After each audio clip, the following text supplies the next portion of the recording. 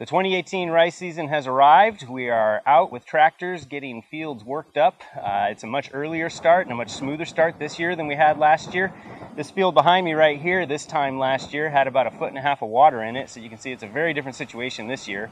We're starting to disc up some of the weeds from the field being fallowed for a year, uh, and in other areas where we were able to plant rice, we're working it up with a chisel. Uh, just trying to get as many fields opened up as we can right now, get the ground opened up and exposed, start to dry it out, and get it ready for uh, planting, which will start here in a few weeks.